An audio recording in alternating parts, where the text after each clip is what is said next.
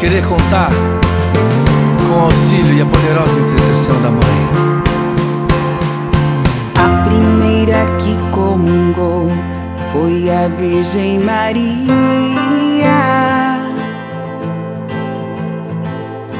A primeira que recebeu Jesus no coração.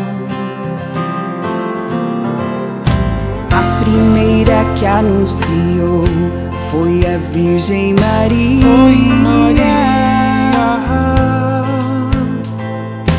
E gerou na fé o profeta que de Isabel nasceu.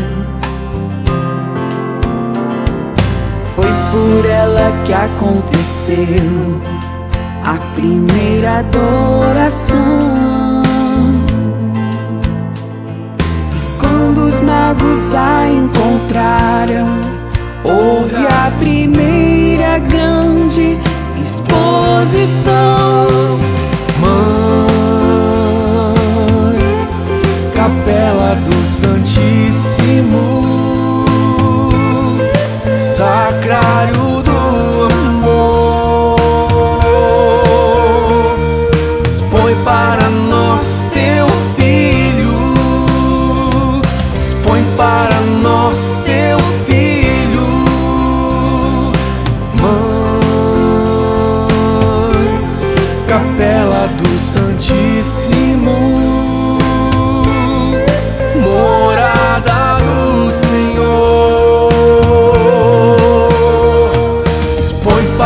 nós teu filho, expõe para nós teu filho, primeiro ostensório do Senhor.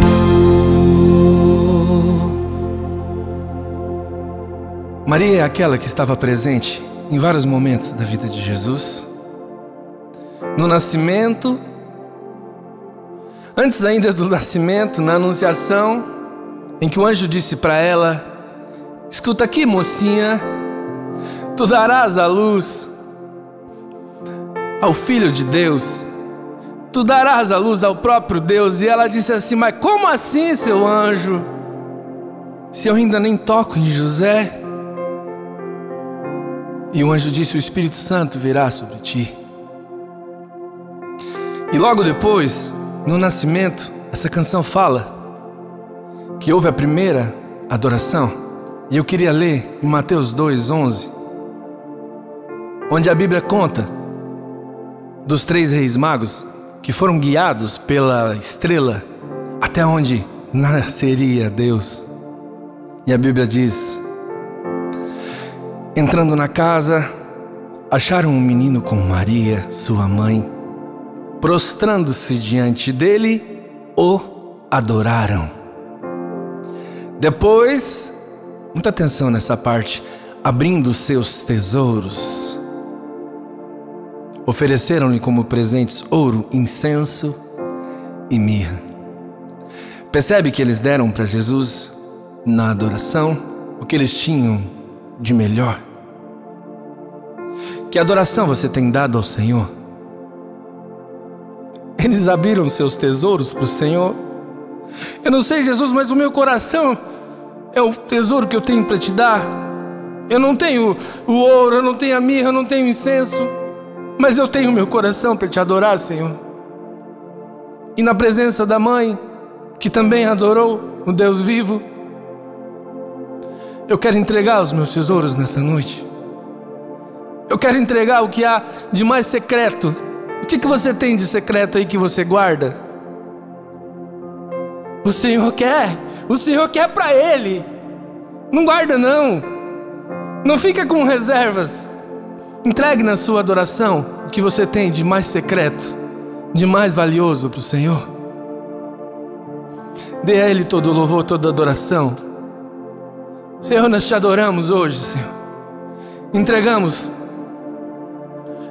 o mais escondido do nosso coração que nós não revelamos para ninguém, mas nós queremos te entregar hoje, Jesus. Sem reservas, tu pode entrar, Senhor. Recebe o nosso louvor, recebe a nossa adoração.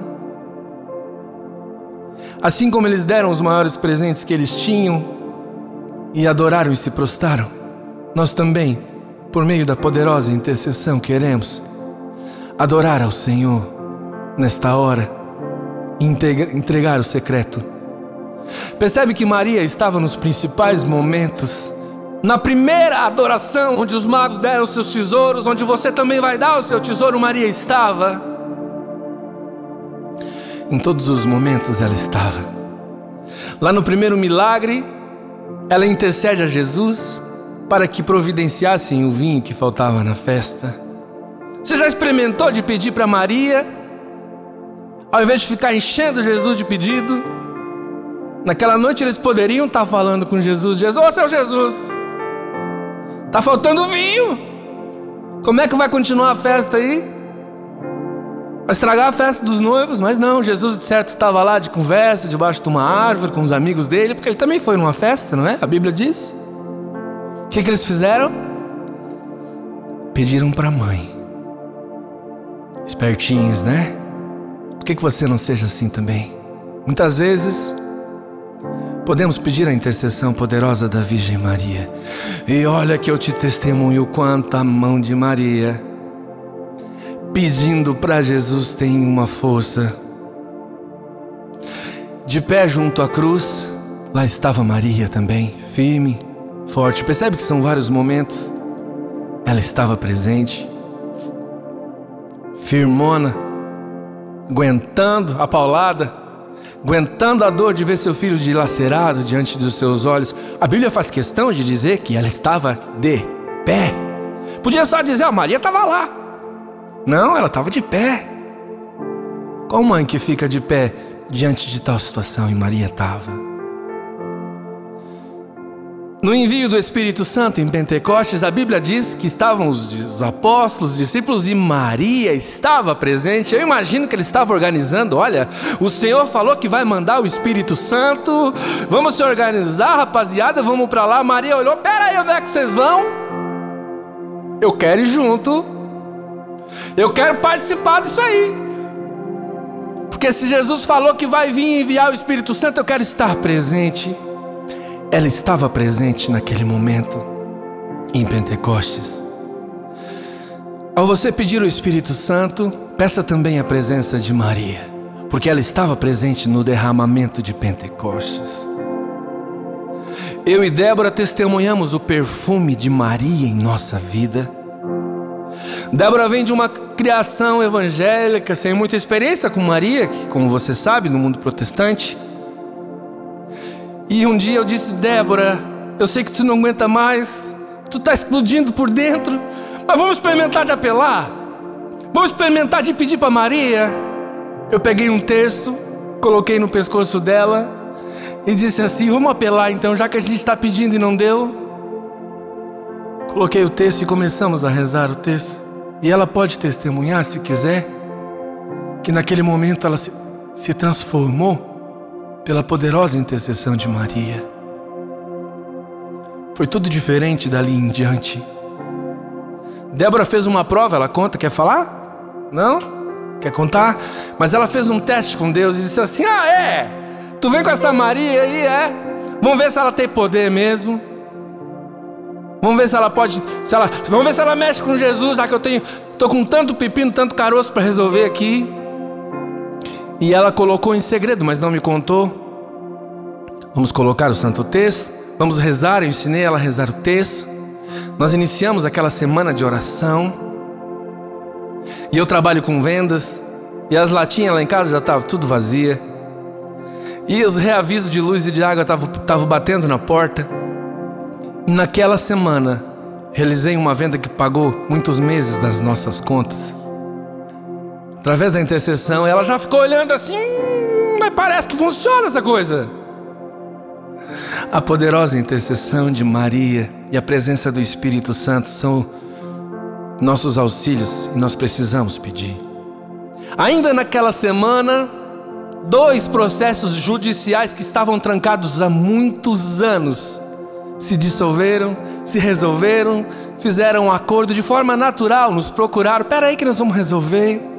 Eu tenho certeza que foi o perfume de Maria. que chegou em Jesus. Ô Jesus, olha aqueles dois lá embaixo, Jesus. Olha aqueles dois coitadinhos eles vieram aqui apelar agora. Vieram aqui pedir para mim. Dá um jeito neles. Manda lá.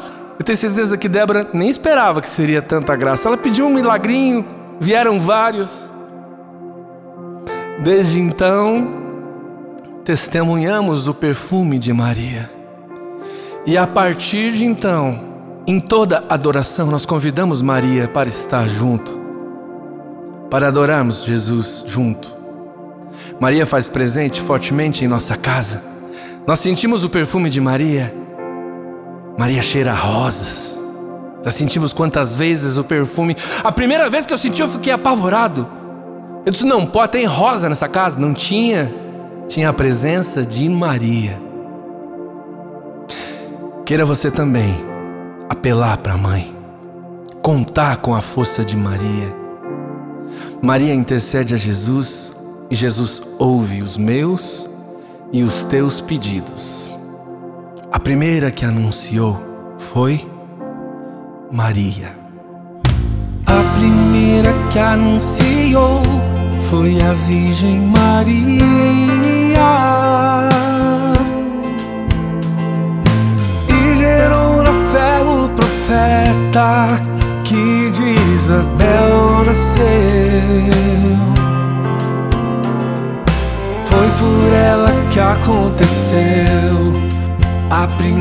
Adoração.